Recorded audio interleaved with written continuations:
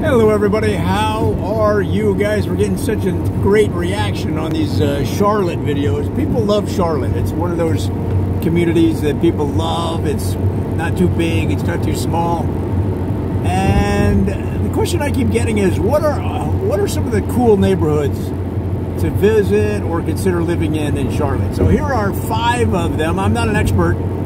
I learned most of this from a guy that I was behind the uh, behind in line at the Denny's, and uh, I was talking about these videos, and he mentioned these neighborhoods.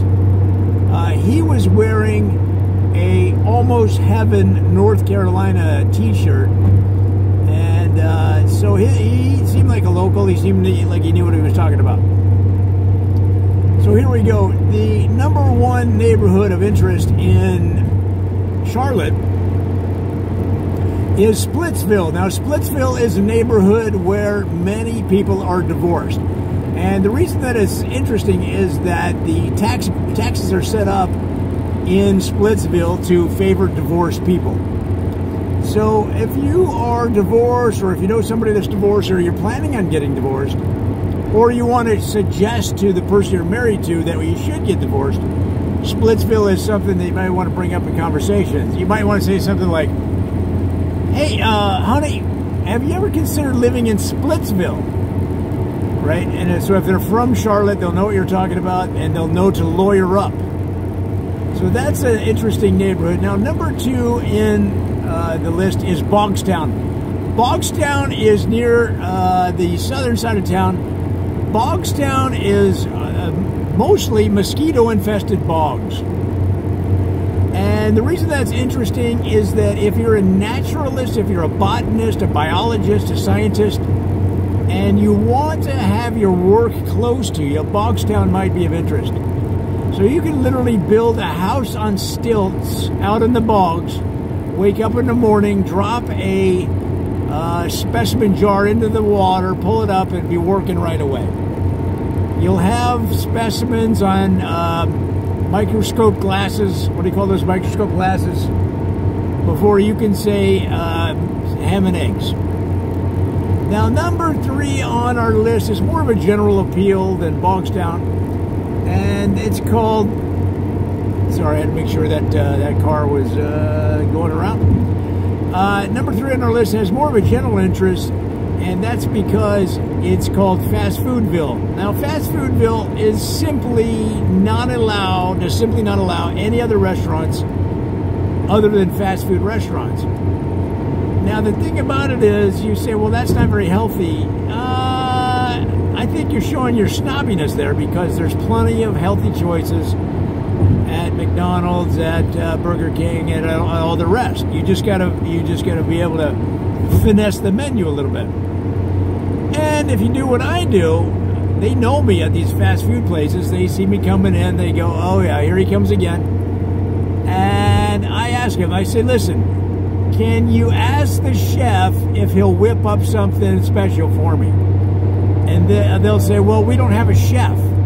I go, okay, just call him chef. Who's ever the head cook back there, uh, could I get a uh, over easy eggs, right? And I'll describe a breakfast. And generally they say no. No, you can't. Why are you asking us to create a special menu for you? Uh, however, you may be more persuasive than me. Uh, I have a kind of a weird look that makes people kind of cower a little bit. So that's something to try. Will you make me a special salad? Will you cook me up something special if I describe it for you? Uh, I had it in England on my last trip there. You know, give it some context. Uh, so that's Fast Foodville, and if you really are into fast food in general, it's going to be a lot easier for you to get your daily uh, fast food fix. Now, number four on the list is something similar to that, but it's called Shoetown. Now, Shoetown is a uh, community of homes that are shaped like shoes.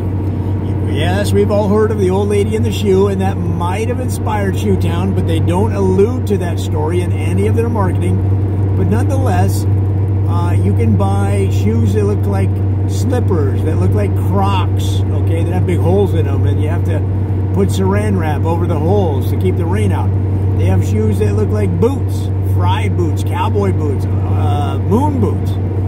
They've got, I mean, it's the most amazing part of Charlotte, guys, and it gets, honestly, it gets a lot of hipster action down there. So if you like hipsters, if you like guys with beards that are way too long that they should have shaved off about three years ago, then uh, Shoetown might be of appeal to you. And of course, what's neat is every cab in town, every cab in town is a, a Jimmy Choo uh, shoe, a Jimmy Choo shoe.